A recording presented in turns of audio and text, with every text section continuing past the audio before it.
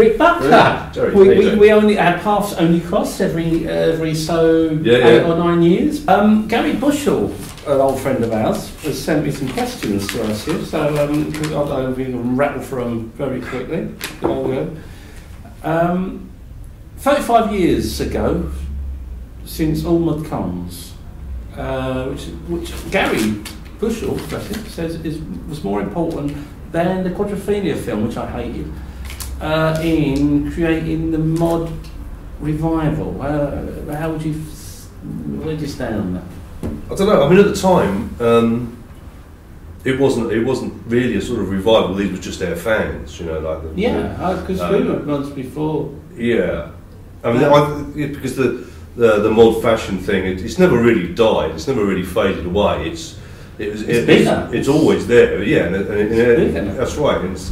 So um, I don't know whether it was a revival at the time. We didn't think of it necessarily No. as that. Um, I mean, there was there was the sort of speculation that you know Quadrophenia would probably have never been made if had it not been for the fact that, that you know the Jam was still carrying that flag. I suppose. Yeah, that's, but that's what he's, he's going on about here. It's Mm. like, how did you did you feel like you were spearheading the movement? Did, I think in retrospect, it- it's easy to, to, to say that. no, but Yeah, I mean, but I don't think. Uh, um, I mean, they, they were just we were just doing what we did, and and, um, and these were our fans, and this is the way that, that we dressed, and, and that was that was it was as simple as that, really. I think. Yeah, well, it was it was a very dedicated fan base. Mm. it? it was, Yeah.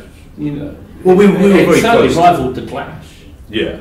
Well, we were very close to the fans, and we would let them in for the sound checks, and um, we would Mm. meet with them, and you know, there, there was no real them and us. I mean, it was you know we Mm. belonged to, to the fans as much as you know they belonged to us, and, Mm. and I think that that still carries through us. You still find you know Jam fans reflect upon that with great fondness, really, and I Yeah. and, and uh, you know it, it was when I got involved with. Uh, um, revisiting the jam songs, you know, with, with the gift, um, I sort of rediscovered that myself, um, Mm. which was really, you know, it was great to sort of, um, you know, to find that was still there and, and you know, people Because you still play felt for a while, did you? you, you No, I, I stopped for a while. I mean, I, I don't know what happened there really. I mean, I, I, I only intended to sort of get out of the music industry for, for a couple of years or something, and, that- just Just did it feel bit well, of a I- yeah, the eighties were really strange Oh, because horror- it was horror yeah, it just wasn't really.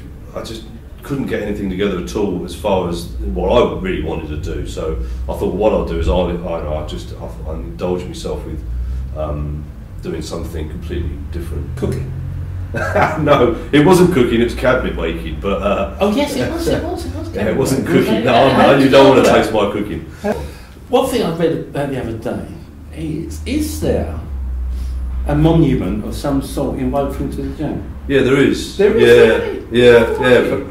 Um, Barratt Homes. Uh, yeah, I know they put it up. With all the work you put in. Yeah, they built this huge block of flats, and uh, uh, that's a big complex in, in Woking. And um, they commissioned an artist, to, you know, to What uh, did he do? uh, basically cut down three huge oak trees that were over 200 years old, and uh, yeah, um, and then chainsawed them all up to as a sculpture. Um, and Like it's the Tom Tom pole.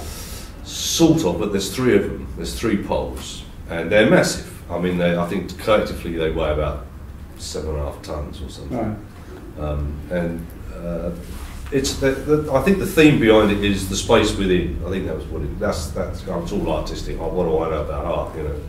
Um, that, that's what it's called. uh, well, that's the sort of theme behind it, but it's you know the uh, of because he did quite a nice thing. He he went to the local school kids, and he said to them, um, you know, he went to the like Sheerwater School and a few other schools around the Woking area, Yeah. and all the kids came up with loads of ideas. They Did they know who you were?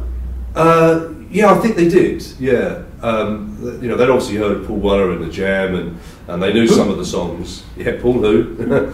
um, uh, so they, they knew some, uh, of that sort of thing. So he gave them a few lyrics and said, "Well, look, be inspired by the songs and the lyrics, and come up with some ideas."